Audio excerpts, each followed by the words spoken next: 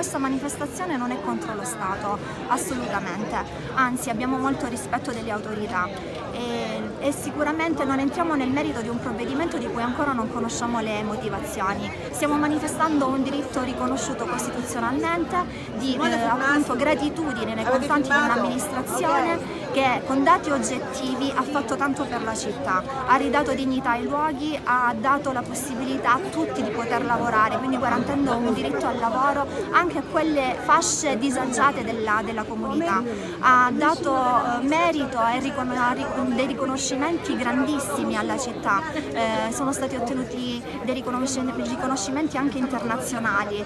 Eh, oggi ci sentiamo di dire grazie a questa amministrazione che ha veramente portato il nome di Tropea, della Calabria e dell'Italia intera per la buona amministrazione in tutto il mondo. Non abbiamo altro da dire che eh, grazie Sindaco Giovanni Macri.